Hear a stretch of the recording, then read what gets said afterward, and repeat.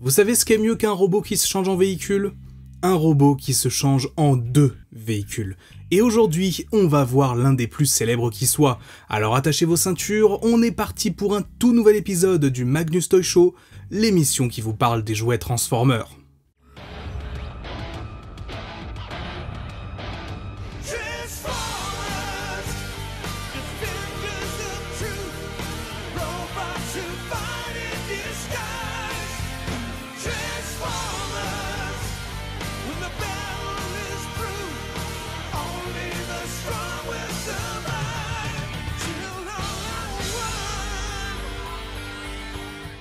Durant la première génération de jouets Transformers, on a vu l'introduction de plein de gimmicks super cool. Dès les premières figurines, la licence allait au-delà des robots qui se transforment. L'exemple le plus évident de cela étant bah, les Combiners, avec plusieurs personnages pouvant se combiner en un énorme robot. Et au milieu de tout ça, on a vu arriver les Triple Changers en 1985. Les deux premiers à arriver en magasin et donc dans la série animée ont été deux Decepticons, Astro Train se changeant en fusée et en train, et Blitzwing qui possède pour mode alternatif un tank et un avion de chasse. On en a vu bien d'autres par la suite, un Springer par exemple côté Autobots, mais aujourd'hui j'avais envie de me concentrer sur Blitzwing parce qu'en tant que fan, eh ben c'est le premier que j'ai connu, et donc bah il a un petit peu une place particulière à mes yeux. Et donc évidemment, vous vous en doutez, le premier Blitzwing que j'ai rencontré, eh ben c'est celui d'Animated, qui est encore sans doute à ce jour la meilleure version du personnage, soyons honnêtes. Il y est un Decepticon récurrent, formant un duo assez comique avec Lugnut et étant lui-même un comic relief assez rigolo avec ses trois personnalités représentées par trois visages différents. Et donc de façon complètement logique, la première figurine que l'on va voir ensemble aujourd'hui, c'est le Blitzwing Voyager Class de la gamme de Transformers Animated. C'est un truc assez fou à dire quand on y pense, mais ce Blitzwing, c'était la toute première réinvention du personnage depuis 1985. Quand on pense par exemple à son compère de toujours, bah Astro Train, lui il avait déjà eu droit par exemple à une figurine classique, à une figurine du Transformers Collectors Club, mais Blitzwing, il n'avait jamais eu de nouveau jouet depuis son original et il aura donc fallu attendre 23 ans pour qu'une nouvelle figurine du personnage arrive et donc ça a été donc dans la gamme d'Animated. Mais qu'importe car avec ce jouet, Blitzwing est revenu en fanfare. Animated a vraiment eu l'habitude de proposer des jouets fidèles à ce qu'on voyait à l'écran, et Blitzwing en est l'un des meilleurs exemples. On va retrouver le nez de l'avion qui forme son torse, les chenilles de son tank ses jambes, les canons dans le dos, les ailes derrière les bras, bref, tout y est. Bien sûr, on retrouve aussi ses trois visages qui pouvaient apparaître via une petite molette à l'arrière de son casque, mais qui peuvent être bougés directement à l'avant aussi. Autre chose à noter, c'est qu'on peut également lui enlever son casque, pour une raison qui m'échappe, enfin à moins si vous vouliez voir une vision d'horreur. Bon voilà. L'un des défauts qu'on peut trouver au personnage avec le recul, c'est probablement ses articulations. Certes, pour l'époque c'était correct, mais non seulement on trouve mieux dans la gamme animated, mais on ne peut pas vraiment lui faire tenir de poses ultra dynamiques. Dans la série, le personnage avait l'habitude d'utiliser ses canons dorsaux vers l'avant, mais ici c'est impossible. Donc ouais, on a un robot ultra screen accurate, mais aux possibilités assez limitées. Est-ce que ça en fait pour autant une mauvaise figurine? Pas du tout, c'est juste que c'est une figurine qui a un peu vieilli, beaucoup plus en tout cas que d'autres figurines de la gamme comme le Optimus Voyager qu'on a vu ensemble la dernière fois. Pour ces modes alternatifs maintenant, on va donc se retrouver avec son mode avion de chasse dans un premier temps. On a souvent tendance à dire que dans un triple changer, l'un des modes est sacrifié au profit des deux autres, et dans le cas de ce Blitzwing, c'est probablement lui. Il s'en sort plutôt bien car le modèle d'animation de l'avion a aussi des chenilles en dessous, mais clairement pas aussi énorme et disgracieuse. Le dessus de l'avion fonctionne relativement bien, mais dès qu'on regarde ailleurs, l'illusion se brise, et c'est dommage, car on a pourtant plein d'idées cool, comme l'arrière de la tête, hein, étonnamment bien masqué, les canons qui font office de réacteur, mais dans l'ensemble, ça reste un avion avec des chenilles, quoi. Le tank, en revanche, est vraiment bien fichu. C'est un petit tank, il est tout petit, tout mignon, et presque un peu trop rond, en fait. Le modèle d'animation était clairement dans cette vibe, mais pas à ce point non plus. On a une sorte de petit poste de pilotage à l'avant, les canons qui tiraient des missiles que j'ai perdus il y a 15 ans déjà, donc ouais, c'est probablement le meilleur des deux modes alternatifs, mais il est sacrément petit, et c'est fou de voir à quel point le robot se compresse à l'intérieur. En bref, ce Blitzwing, malgré ses défauts et malgré le fait qu'il est pas mal vieilli, c'est une figurine que je peux pas m'empêcher d'apprécier. C'était l'une de mes préférées de la gamme à l'époque, et j'avoue que j'adorerais le voir refaire aujourd'hui hein, dans une gamme Legacy par exemple, mais même si c'est pas le cas, bah c'est pas grave, celui-là me va déjà très bien. Avant de repartir sur un bon gros Voyager, petit détour par un jouet assez surprenant. En effet, on se retrouve avec le Blitzwing vendu dans les Happy Meal de chez McDo, et exclusif à la France. Je ne blague même pas, ce Blitzwing, pour aucune raison que je saurais expliquer, a été distribué uniquement en France en 2009 et dans aucun autre pays du monde. Et rien que pour ça, je propose de l'inscrire au patrimoine national. Pas mal, non C'est français. Du côté du jouet lui-même, c'est du grand classique hein, pour un jouet McDo. C'est simple et basique, il ne se transforme qu'en tank, qui je tiens à le dire est presque plus fidèle à la série que le Voyager. En France, ce Blitzwing est ultra facile à trouver, mais pour toutes les personnes qui font une collection autour de la série ou du personnage, eh ben il faut forcément passer par la case France pour acheter ce dernier. Et je trouve ça assez fou. Pour ce qui est du Blitzwing G1, je ne possède pas l'original malheureusement, même si je compte bien le choper si l'occasion se présente. Donc dans tout ça, mon premier Blitzwing inspiré de la première génération, eh ben ça a été la figurine Generations de 2013, et Dieu sait qu'on s'attaque à un sacré morceau. Ce jouet est la première réinvention du personnage dans une gamme de type Classics, ou Chug, hein, abréviation de Classics, NK, Universe et Generations, et est sorti en 2013 en même temps qu'une des figurines les plus acclamées de l'époque, à savoir le Springer inspiré des comics ADW. Et oh boy, par où commencer? Déjà, sur le plan purement visuel, le mode robot de ce Blitzwing est plutôt sympa. C'est clair qu'on est sûr de la réinvention plutôt qu'une pure adaptation du personnage G1, mais c'est quelque chose que j'aime beaucoup, une nouvelle proposition pour Blitzwing qui garde malgré tout les grandes idées de l'original. Autre point que je trouve plutôt appréciable et qui fait un joli clin d'œil animated, en plus du visage G1 classique, on a aussi deux visages alternatifs représentant ces deux autres personnalités vues dans la série. Le mécanisme a un peu mal vieilli mais l'intention est là, et c'était vraiment l'occasion de rappeler la version du personnage que beaucoup de personnes avaient connue à l'époque. Pour le reste, c'est... comment dire contrasté, inégal.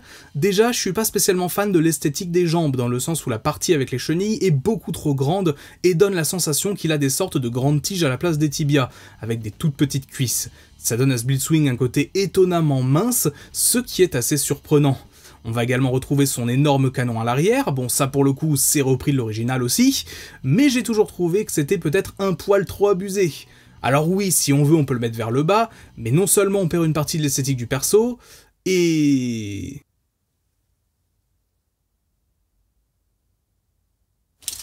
Mais le plus gros défaut de ce Blitzwing, c'est sans aucune contestation ses épaules. Elles sont attachées au torse de manière tellement loose que le moindre mouvement va faire se détacher l'ensemble et rend la manipulation réellement désagréable à ce niveau. Et malheureusement, même les deux armes fournies avec, qui sont fidèles à la G1, ne rattrapent pas forcément l'ensemble. C'est juste un robot qui est mid en fait, médiocre, et ça fait un peu mal de se dire que c'était la vraie première réinvention du perso.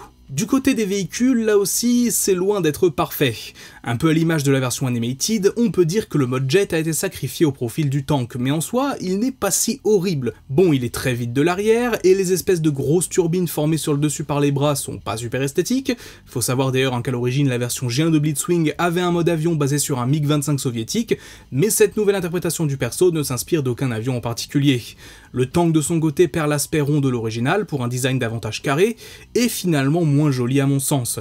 Des deux modes, c'est probablement le meilleur, mais encore une fois, euh, ne regardez pas derrière. En conclusion, ce Blitzwing Generations, bah déjà qu'il n'était pas considéré comme particulièrement incroyable à l'époque, aujourd'hui avec toutes les nouvelles versions qui sont sorties, notamment la Titan's Return que je ne possède pas, ou encore la Legacy, je vois vraiment pas ce qui pourrait faire ajouter ce perso à votre collection. Il y a des meilleures versions sorties entre temps, notamment bah, la version Legacy, qu'on va voir juste après, car en attendant, Oui, avant d'aller sur la version Legacy de Blitzwing, passons sur la version des films du personnage, ou plutôt ce Seeker random qui porte son nom dans Bumblebee. Qu'on s'entende, j'adore le design du personnage sur grand écran, et je pense qu'on peut dire sans trop prendre de risques que c'est l'un des tout meilleurs designs de la saga.